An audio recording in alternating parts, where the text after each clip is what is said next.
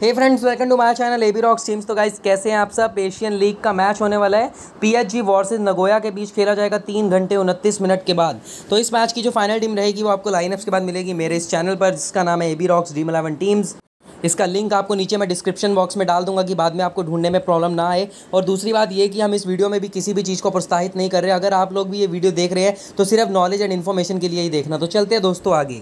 बात करूँ मैं इस मैच की the Nagoya versus Pohang Steelers तो यहाँ पे मैं नगोया के साथ हूँ, यहाँ पे नगोया को फेवर कर रहा हूँ यहाँ पे, क्योंकि नगोया टीम ने फाइव में से पाँचों मैच जीते इस सीज़न के अंदर। एक भी मैच नहीं हारी ये टीम और एक भी मैच मतलब कॉन्जिक्यूटिव हैट्रिक से भी ऊपर चल रहा है। क्या बोलूँ, मेरे पास वर्ड ही नहीं है। पोहांग स्टीलर से भी इतनी तेज़ टीम मैं आई थिंक इस सीज़न के अंदर ही देख रहा हूँ। बात करूँ गोल कीपर की, यहाँ से लूँगा फ़र्स्ट प्लेयर जिसका नाम है Kang Hyeon Mu Kang Hyeon Mu जो प्लेयर है, ये पोहांग स्टीलर्स का एक नॉर्मल सा गोल कीपर है। एक्चुअली ओपोनेंट टीम का जो गोल कीपर रहे ओपोनेंट टीम का जो गोल कीपर है, वो पेनल्टी सेविंग रेशियो उसका इतना अच्छा नहीं है। दैट्स वाई मैं के ह्योन को फेवर करूँगा यहाँ पे। भले ही वो पोहांग स्टीलर्स की टीम का लेकिन फ़ायदा ही वही देने वाला है गाइज़ और डिफेंडर की बात करूँ देन एस नाकाटानी को यहाँ से लूँगा।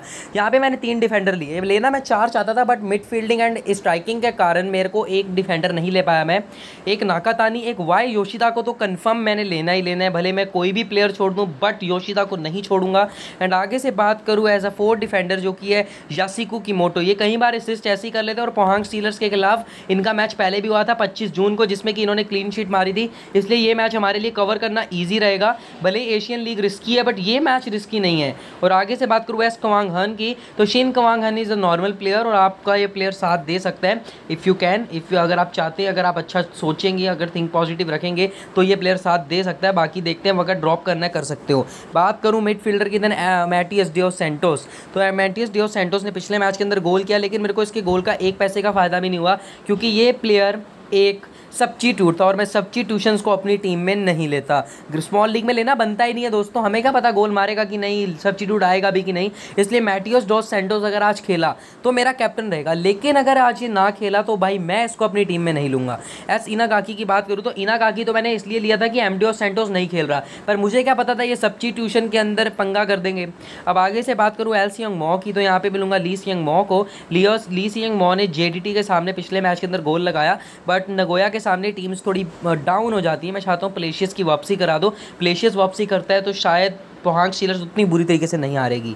स्ट्राइकर की बात करूँ तो आर यामासाकी को यहाँ से मैं लेने वाला हूँ। यामासाकी ने पिछले मैच के अंदर पोहांग स्टीलर्स के खिलाफ असिस्ट की थी बट ऐसा सब्चिट्यूट वही कह रहा हूँ ना सब्चिट्यूशन का थोड़ा प्रॉब्लम है। और वाई यहाँ पे आगे से बात करूँ नेक्स्ट प्लेयर की जो कि है वाई काकीदानी तो ये प्लेयर को मैं नॉर्मली ले रहा हूँ, काकीतानी को। और इसके पीछे का लेने का कारण जो इस प्लेयर को है, वो है सिर्फ़ और सिर्फ़ good striking and maximum minutes play और बी आगे से बात करूँ नेक्स्ट मैन की बॉरिस चेस्टी कई लोग पिछले मैच के अंदर पोहंग सीलर्स के फेवर में थे बट उनको बिल्कुल फ़ायदा नहीं हुआ, भले वो कोई भी स्ट्राइकर ले ले, क्योंकि गोल ही नहीं हुआ था।